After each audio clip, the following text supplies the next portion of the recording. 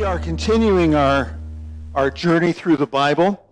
And in recent days, our Bible reading, in our reading, we've seen God make a series of promises to an old man named Abraham. And we've seen some of those promises fulfilled. Among them, a son born to two really, really old people. Older than me, and I'm too old already. I don't want to go there, you know. Uh, if Coco should tell me we're expecting a baby, I would seriously consider suicide. I'd really have to pray through on that one. Uh, but in our reading these past days, we've seen a grandson named Joseph sold by his brothers into slavery and taken to Africa, where he ends up in prison falsely accused of the attempted rape of the lady of the house. In prison, he impresses other prisoners with his ability to interpret dreams. And one day, he is called before the emperor, the Pharaoh, to demonstrate his gifts. Before the evening is over, the Hebrew prisoner, Hebrew slave prisoner, becomes the prime minister of the empire the most powerful nation in the world of his time, the nation of Egypt. In that position, he becomes an instrument of salvation for God's people when his father Jacob escapes a famine by seeking refuge, by seeking shelter with his son Joseph in Egypt. Earlier in Genesis, we saw how God had told Abraham that his descendants would spend 400 years in Egypt. They would suffer abuse at the hands of the Egyptians. And that promise we see now in our reading has been fulfilled. And that brings us to where we began reading, where we began reading yesterday, the second book of the Bible, the book of Exodus. Now, let me just insert this here. If you haven't been reading with us and want to join, don't try to go back and catch up.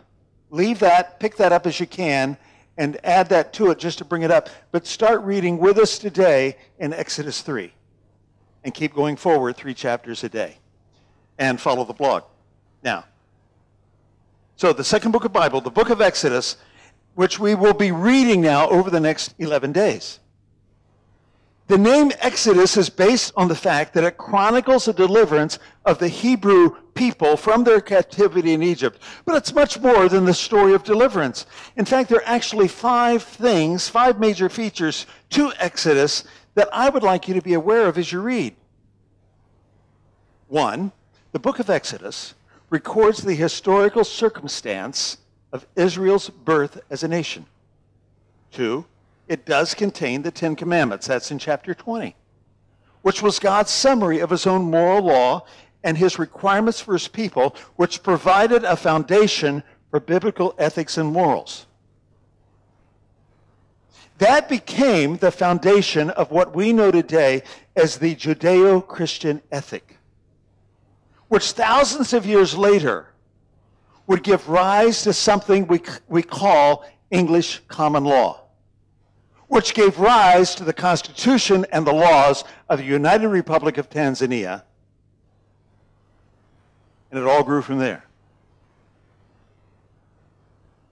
It presents God's redemptive grace and power in action by vividly telling the story of God's deliverance of his people from the peril and bondage of sin, Satan, and the world.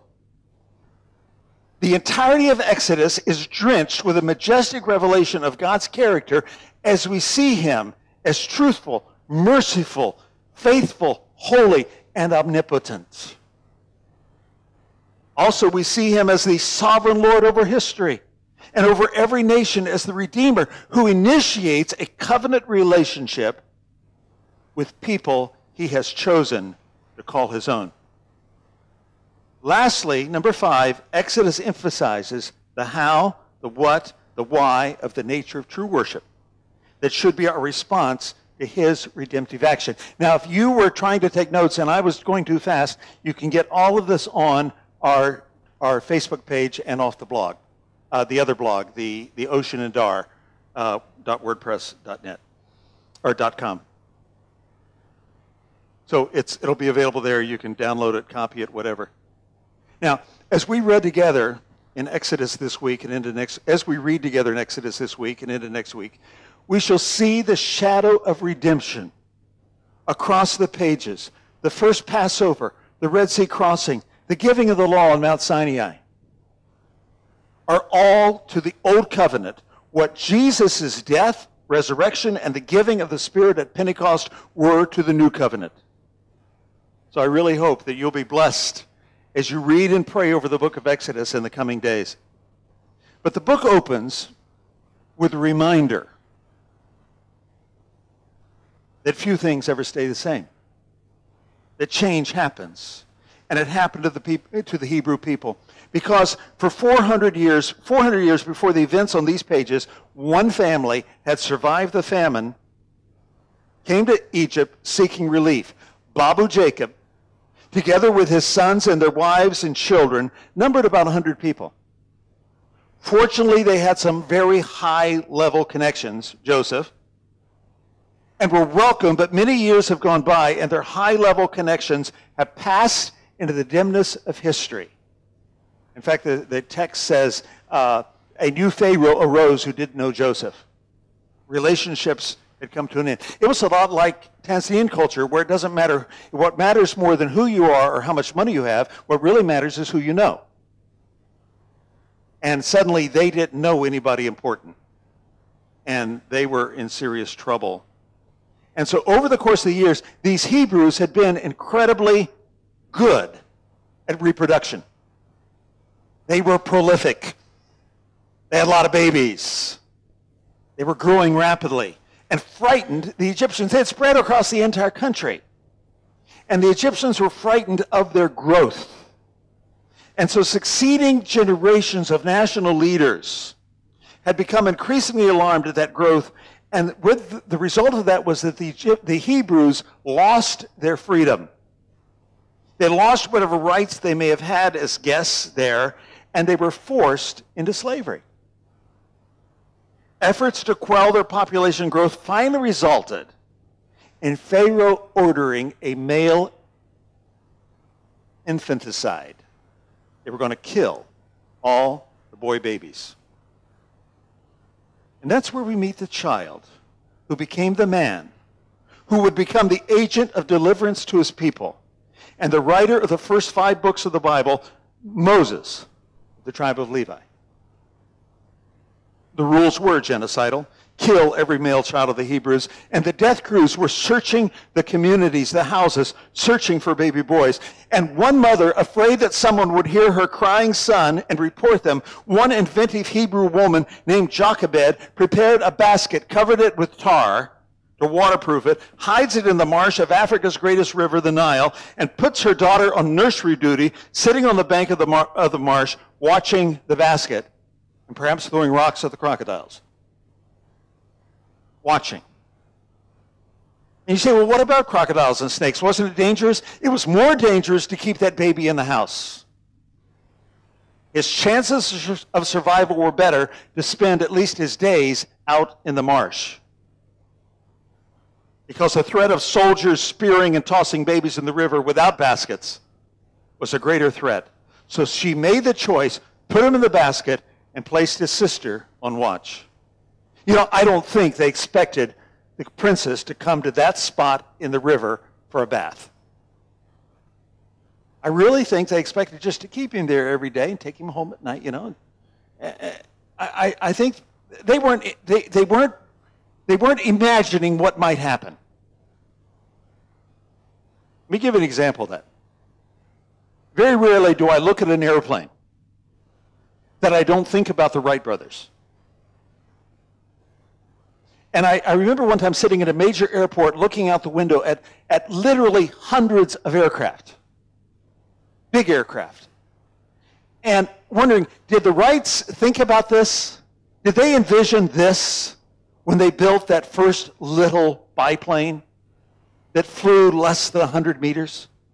But it flew. Did they dream of this? Was this part of their plan?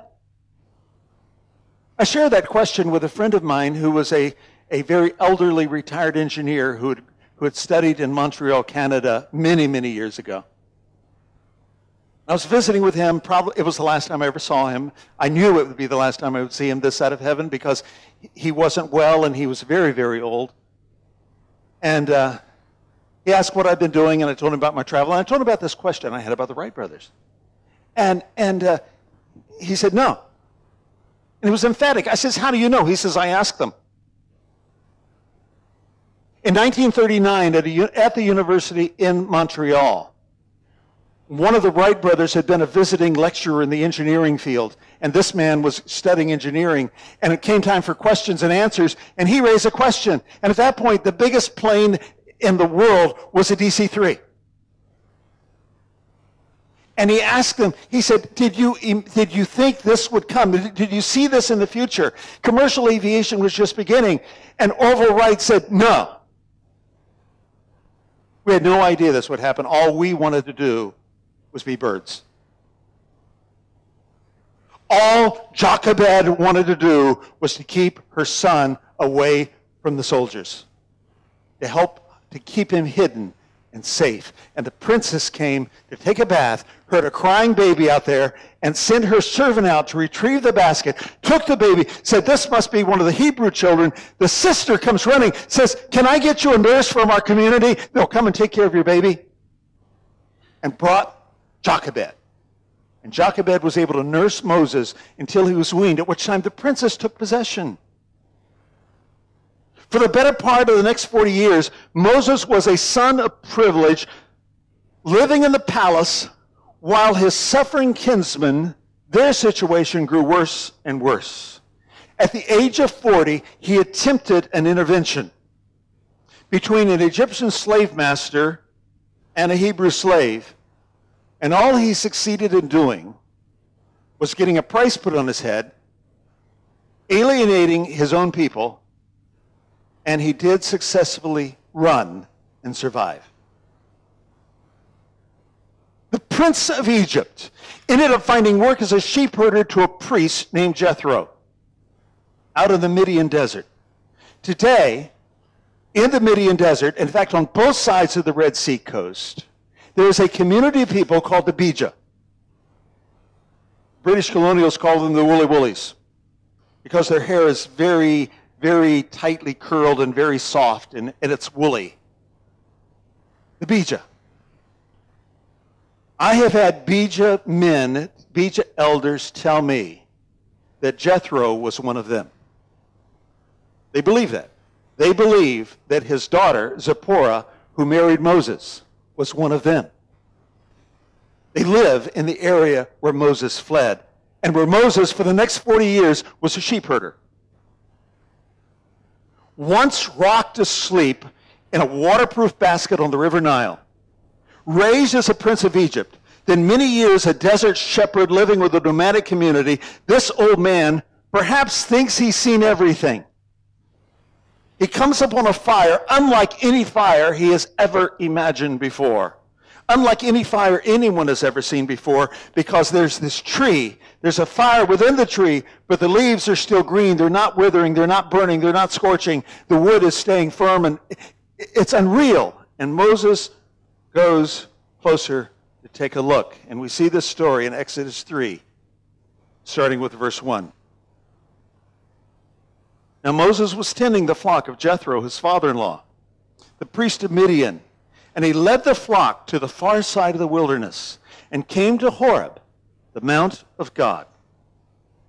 Let me interject here. Horeb is what we also know as Mount Sinai. There, the angel of the Lord appeared to him in flames of fire from within a bush. Moses saw that though the bush was on fire, it did not burn up. So Moses thought, I will go over and see this strange sight. Why the bush doesn't burn up? When the Lord saw that he had gone over to look, God called to him from within the bush, Moses, Moses. The amazing thing is, Moses answered. You know, if you tell people you talk to God, they think you're strange. If you, if, if you tell them God talks to you, they think you're crazy. So uh, he hears the voice, Moses calling, and he responds, Here am I. Now, as far as we know, it's the first time he ever heard from God. We don't know what his mother taught him, but he's been living with pagans. He lived in a pagan situation for nearly 40 years. The voice says, Don't come any closer, God said. Take off your sandals, for the place where you are standing is holy ground. Then he said, I am the God of your father, the God of Abraham, the God of Isaac, and the God of Jacob. At this, Moses hid his face because he was afraid to look at God. The Lord said, I have indeed seen the misery of my people in Egypt I've heard them crying out because of their slave drivers, and I'm concerned about their suffering. So I've come down to rescue them from the hand of the Egyptians and to bring them out of that land into a good and spacious land, a land flowing with milk and honey, the home of the Canaanites, the Hittites, the Amorites, the Perizzites, the Hivites, Jebusites. And now the cry of the Israelites has reached me, and I've seen the way the Egyptians are oppressing them. Now, can you imagine the picture? Here's Moses who wanted to help his people and got in deep trouble. He's been living with that memory for years. Here's the picture I see. I see an old man running and leaping and shouting, dancing around the camp, around the fire. God has seen, God has heard, God has come. Hallelujah! Yeah. God has heard their cries of pain. God's heard their prayers for help. At last, at long suffering last, God has come down from his home in heaven to where the rubber meets the road.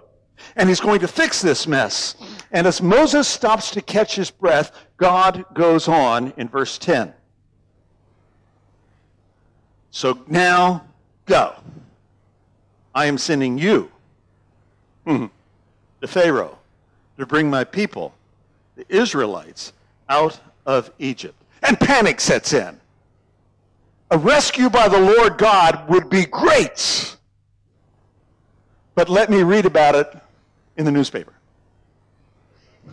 Let me watch it on CNN. I'm not what you need.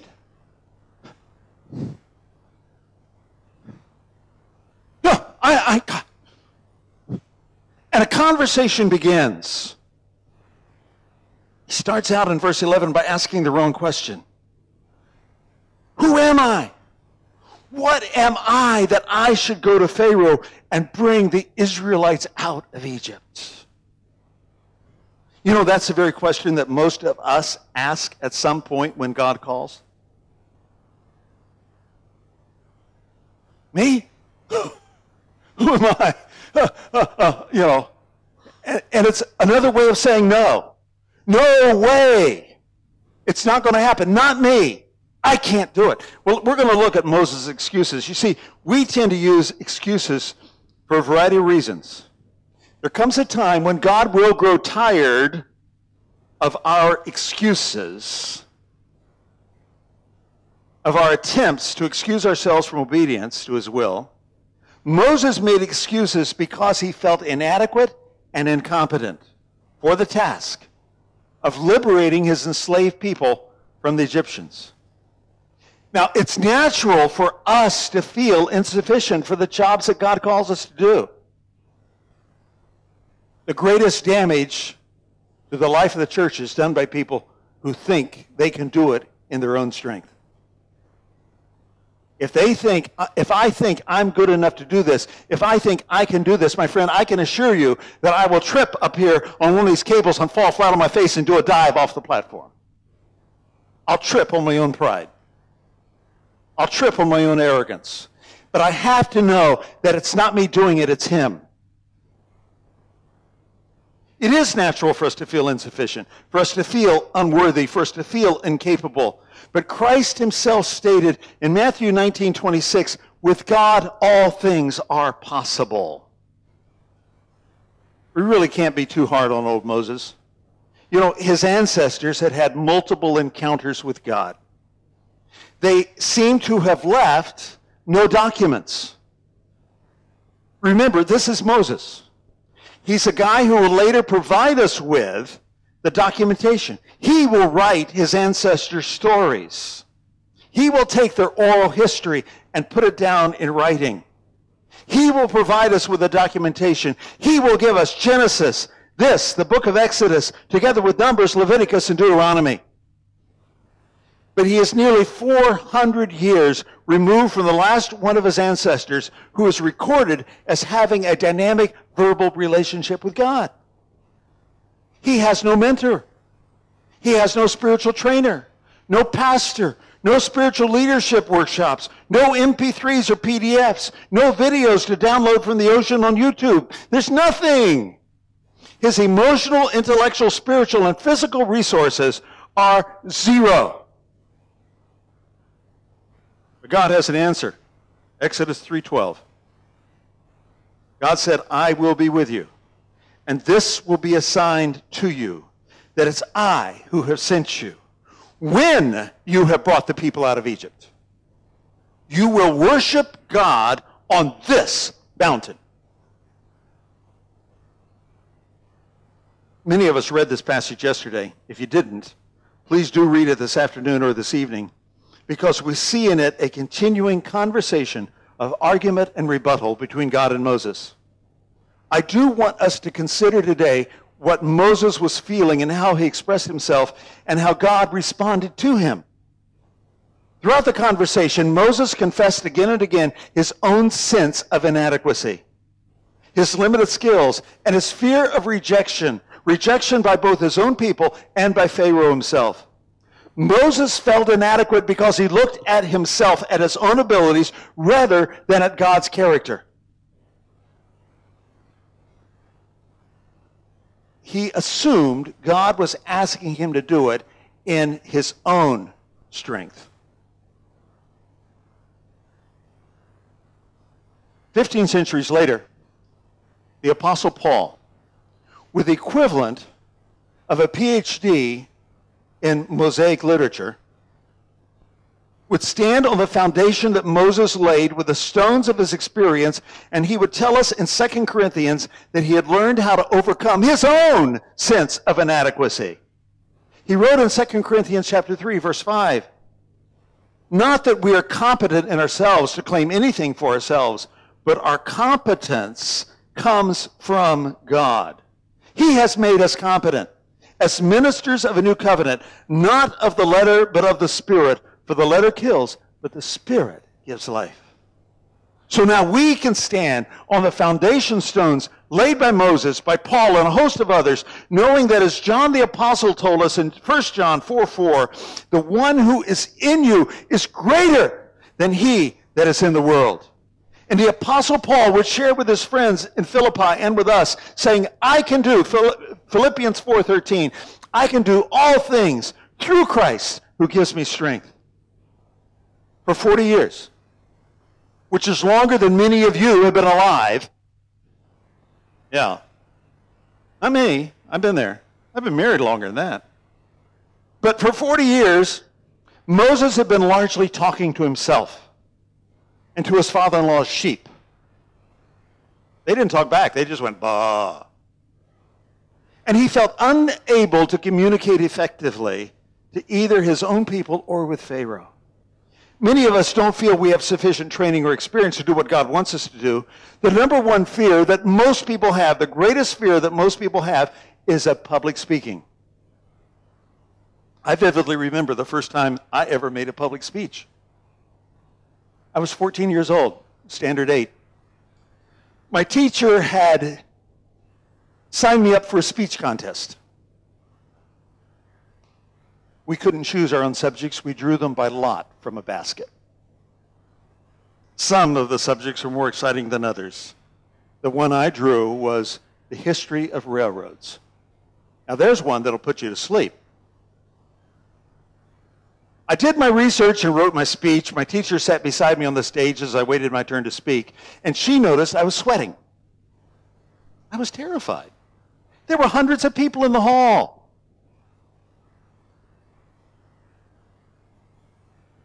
And she told me there were only three people that I needed to communicate with. Only three people I needed to speak to that night. And I didn't understand what she was saying. But she told me, she says, and, and back in those days, I was called Bobby. Don't you do it. Don't even. She said, Bobby, look around. Look out there. Find three people one on the left, one in the middle, one on the right, who seem to be paying attention. Do it now. If they're awake and active, spot them and note where they're sitting, and then speak to them. Speak to them. Speak to him.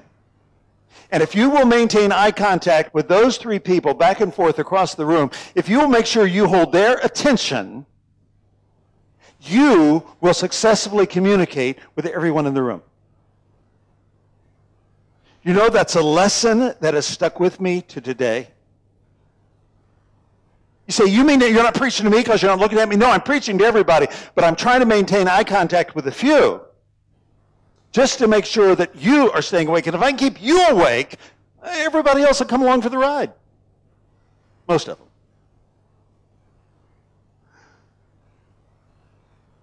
As a young speaker, it was excellent advice. As I said, I continue to follow it. Except it's sometimes difficult here at the ocean because sometimes it gets real dark out there and I've got those lights in my eyes and I can't see your eyes. So sometimes I just preach in your direction, look in your direction, and, and hope that I'm communicating because I can't see you for the lights. Uh, man, I want our own place. Or we can put the lights where we want them. Yeah. Moses said, I have not been eloquent neither recently nor in times past. Later, he would refer to his quivering lips. Did he stutter? We don't know. Maybe. You know, uh, there's a few great preachers in history who stuttered and still they successfully pastored. And stuttered while they preached. Hard to believe. But God said in Exodus 4:11, "Who gave human beings their mouths?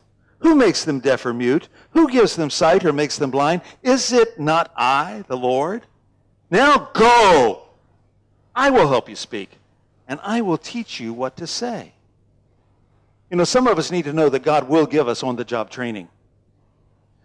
The Lord looked at Moses' problem very differently than Moses did. He looks at our problems differently than we do. He has a God perspective. He sees the whole picture. He knows what he can do, what he can add to us and override us, and we become the vehicle through which he moves. In response, the Lord reminded Moses it was he himself who made him the way he was. Moses did not have to explain to the Maker what he was, and neither do you and I. Who better than the Lord could give Moses the ability to express the message of deliverance with clarity, passion, and wisdom. In the course of the conversation, God demonstrated his, his power twice. First, by telling Moses, drop your walking stick. Moses was a shepherd. He has this long stick. And he says, drop your stick on the ground. Boom. And then when the, when the stick hits the ground, it becomes a venomous snake.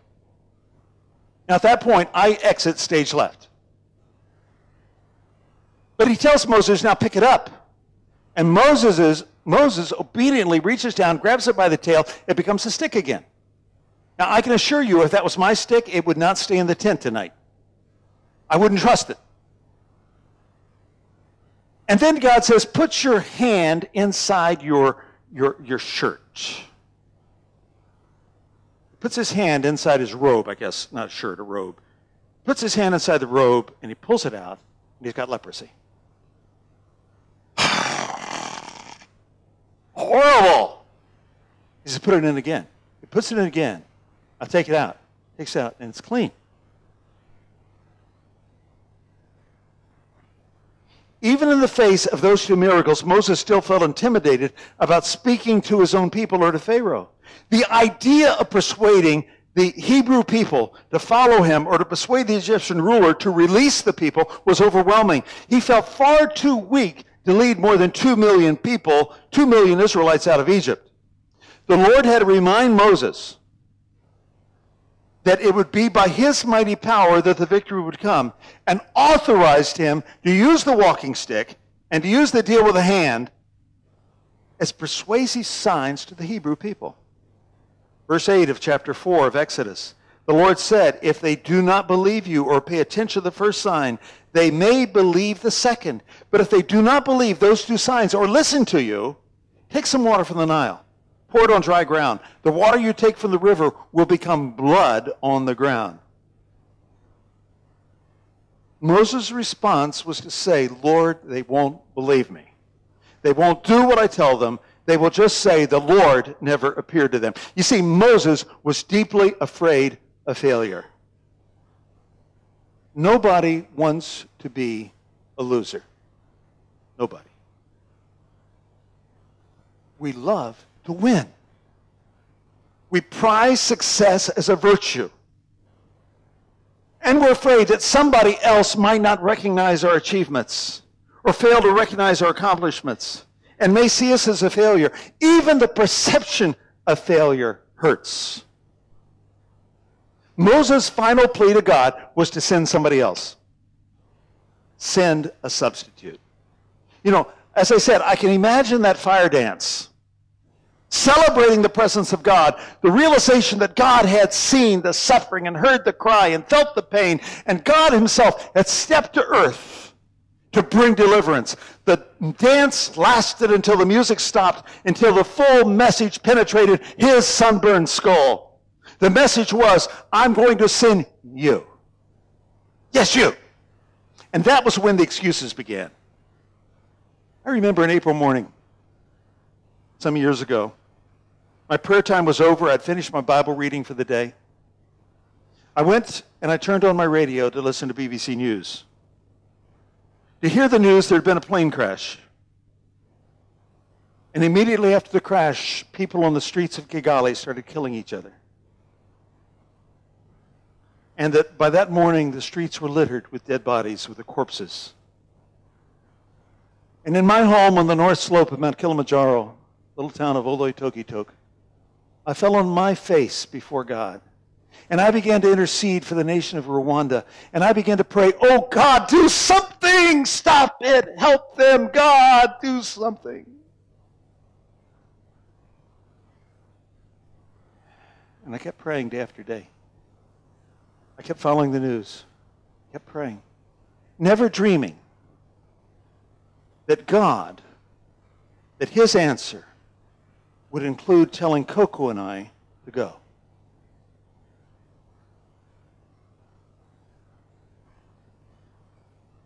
And then the excuses started. God, help them. Send somebody else. I love God. I was actually serving God, but I was comfortable. Now, yes, I lived at the end of 100 kilometers of really bad road. I tore up two Land Rovers in 10 years there. But we were comfortable in the ministry we were involved in. We were safe among the Maasai. And I was asking God for a substitute. And in His grace, He sent a substitute. And then He sent another substitute. But at the same time, He kept saying to us, go, go, go. And finally, the day came that we loaded everything we could carry into our Land Rover Defender. And we drove the road to Kigali, where for eight years we were part of God's redemptive plan in the nation of Rwanda. We were part of God's answer to my prayer on that early April morning in 1994. My friend, too many times, too many of us are excusing ourselves from service to God by asking Him to send Joe, send Mary, send Jack. Not me. I can't do this. One of the beautiful things in this story is how incredibly patient God was with Moses and with us. But even God is capable of getting angry. God's capable of exasperation. We see that in Exodus 4, uh, 14 and 15. And then the Lord's anger burned against Moses. And said, man, you know, I don't want to get God mad. but God's merciful, even when he's angry. God's answer burned, burned, God's anger burned against Moses, and he said, What about your brother Aaron the Levite? I know he can speak well. He's already on his way to meet you, and he'll be glad to see you. You shall speak to him and put words in his mouth. I will help both of you speak and will teach you what to do. You know, we have a hard time imagining Moses being comfortable in the Midian desert. It's hot, it's rocky, it's, it's nasty, it's dry. But comfort is more than a leather covered reclining chair and clean water, a reliable electrical supply, and a flat screen television. Often the reality of personal comfort centers more upon familiarity and predictability rather than on the physical stuff that we assume it does. God was telling Moses, it's time to leave your comfort zone. It's time for you to become what I have prepared you to be. You see, Moses was comfortable because he knew where you could cross the ravines. He knew where the lions hid. He knew what trails to use and which to avoid. He knew when it would rain and he knew where to find water. His life was predictable. And his network, his social network in the royal palace, had been left in tatters 40 years before. He had no network among the Hebrews. To the best of our knowledge, his last contact with his own family may have been with his mother handed the freshly weaned little boy to the royal Egyptian mother. That was maybe 77 years before. Nothing about this assignment looked like it would be comfortable. But God said, Go. It was too easy, it is too easy to be so comfortable in our own lifestyles that we become unwilling to give up the ease, the convenience, and predictability of our schedules and relinquish control to God. Jesus said in Luke 9:23, and I believe he was dealing partially with our comfort zones, whoever wants to be my disciple must deny themselves and take up their cross and follow me. He clarified that a bit more in Luke 14:33. In the same way, those of you who do not give up everything you have cannot be my disciples. And I really believe he's talking more about comfort zones than what we have in our pockets. He's talking about moving out of our familiarity. He's talking about moving beyond the next street, beyond the next town, beyond the next village. Our speaker this week referred to the 7,000 ethnic groups in the world who have no viable church among them. They do not have an effective witness of the gospel among them. Over 7,000 different people groups. It's incredible. And many are right here in this nation. And it's when but God will perform miracles in and through our lives if we believe Him. Zechariah 4 6, the word of the Lord was, Not by might, nor by power, but by my Spirit, says the Lord Almighty. Actually, it's only when we recognize that we ourselves are weak that God can show Himself strong in our lives. Paul in 2 Corinthians 12, verse 9, Paul said this. He says, Jesus said to me, my grace is sufficient for you, for my power is made perfect in weakness. Then Paul went on, he says, Therefore I will boast, I will boast all the more gladly about my weakness, so that Christ's power may rest on me. That is why, for Christ's sake, I delight in weakness, in insult, in hardship, in persecution, in difficulty. For when I am weak, then I am strong. My, my brother and sister, I believe today that God is calling us by His Spirit to identify and to appreciate all the great gifts, abilities, and strengths that He has given to us. Those things that He has intentionally placed in our lives. I want to admonish each one of us to thank God for making us just the way we are. For stop regretting that we're not like somebody else. You know, at one level, I wish I could sing like Jeffrey.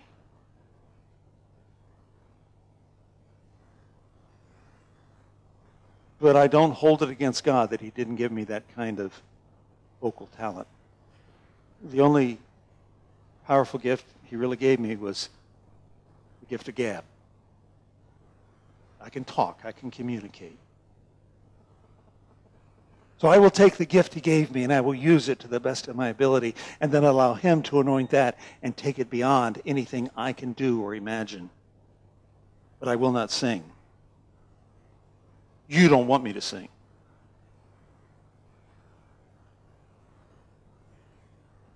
You see, in the power of his spirit, he will make each one of us perfectly capable of doing whatever he wants us to do.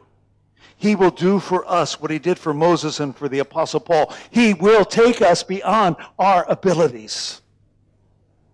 We must praise God that He is greater than all our problems, all of our excuses, all of our limited understanding. We must get to know God in the marvelous depth of His character and praise Him for the fact that all power and authority in heaven and on earth are available to each one of us individually for His high purposes.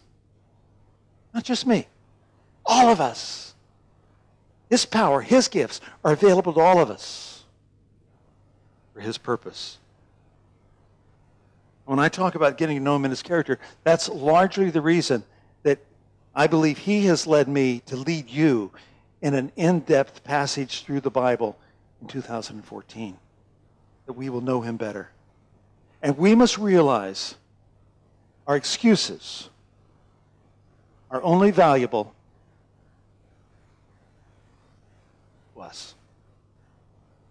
My excuses have no significance to God. They only are significant to me.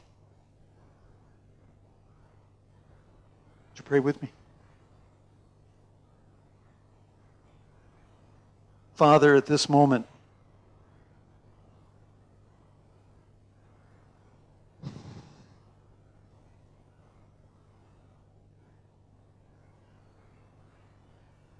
We're done with excuses. We're done with asking for substitutes. Father, at this moment, we're saying, Yes, God, use me. God, you have called out your people and said to go. Even within our own community, go to Splash, go to the nursery, go, go, to, go to the praise team, go to, go, go to the hospitality. Be willing to stand up and preach. You said it. Person after person across this auditorium. And Father, we are done with excuses. And we ask you to put within each one of us the faith, the power to believe that you will take away, you will overwhelm our inabilities, our insecurities, our incompetence, and you will be glorified in us because it will be you who does it in us. We rejoice in that today. Friends, if that's your prayer, would you just hold your open hands out before Him right now? Make an offering of you, yourself. Say, God, you know exactly what I am. You know me better than I know myself. You know my inadequacies. You made me. You made my lips. You made my ears. You made my larynx. You made my liver and my spleen. You made my toes and my hands. You made me, and you know me better than I know myself. And if you want to use me, okay, God, I will trust you to do what you think best. And I will be useful to you. Say something like that to him right now.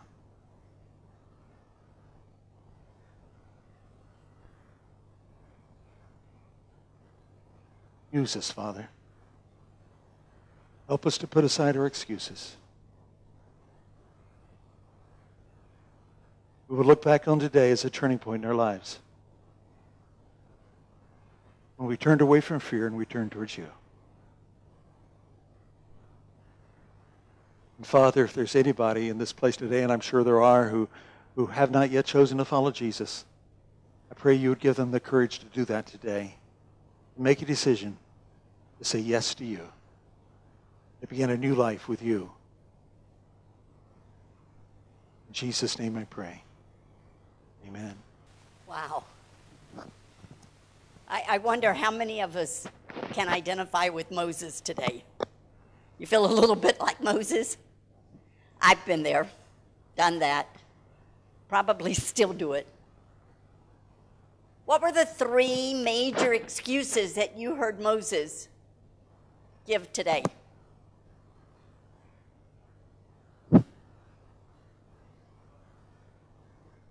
I can't do it. That's the whole thing. I can't do it. And why couldn't he do it? First of all, he did not feel like that what? He didn't feel like he was worthy. I can't do that, not me. Okay? He's unworthy. What was another one? What was the second one he, he said? The people won't do what? They won't listen to me. All right, I can talk, but they won't listen to me. What was the third one he said? I can't speak. If you were to take those three, I'm not worthy, nobody will listen to me,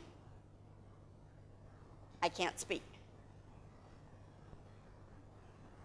That's one of our um, takeaways that we'd like for you to work on. Put those three down, put a number out beside it one to five,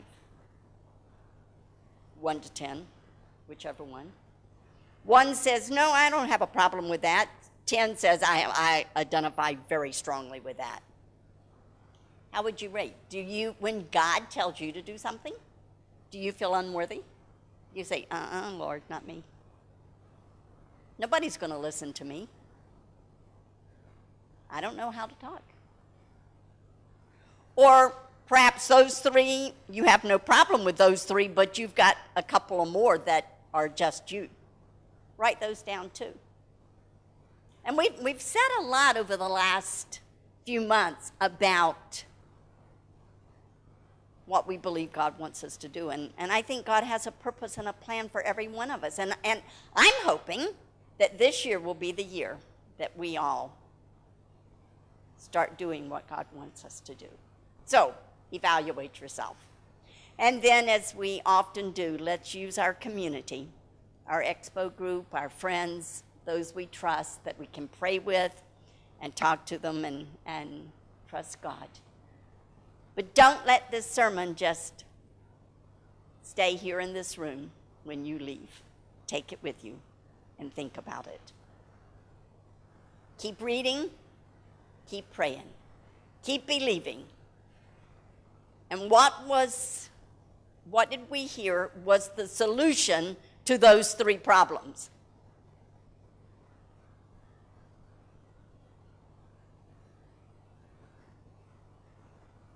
What solutions did you hear? Trust God. Give me a verse.